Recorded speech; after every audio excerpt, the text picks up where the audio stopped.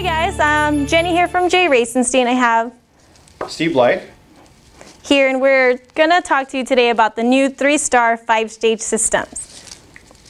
So um, there's three models available. Uh, one comes without a pump that you would put your own pump in front. Maybe you have one or um, you don't want to have the weight on the cart. And the other two are in integrated pump systems that have uh, in a 12 volt design or a 110.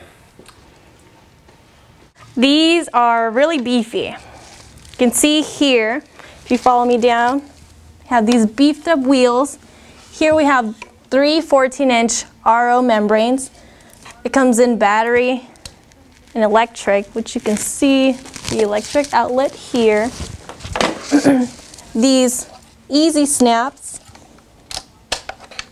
snap off very easily and they're very durable. So they hold the cartridge on stronger. That's what that snap does. The new features on these systems are the quick change DI.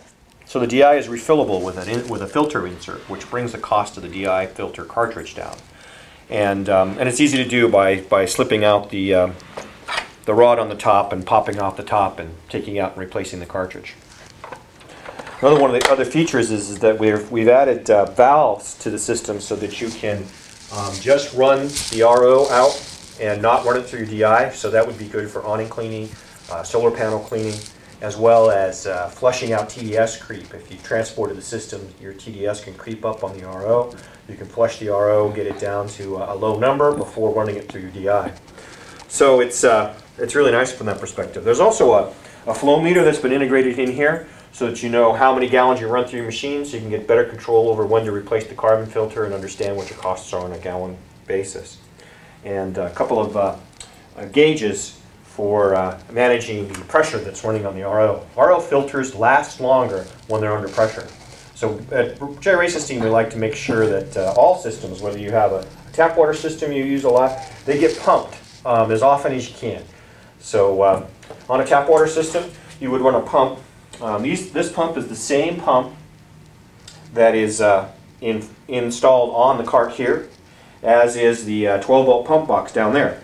But you may have a couple of systems that you want to run the pump on. So you have uh, system A and system B. You want to run the pump on that one today or this one tomorrow. So people like some people like to have their pump separate from the system. Others just like to have them integrated.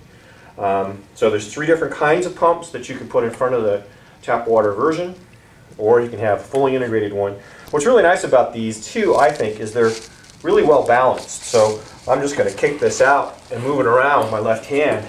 And to do that with this much stuff on it um, is a really nice and balanced, easy to use cart. So uh, getting it out to the job site, getting it back is not as difficult as it might be otherwise. So uh, nice sturdy design from uh, RHG.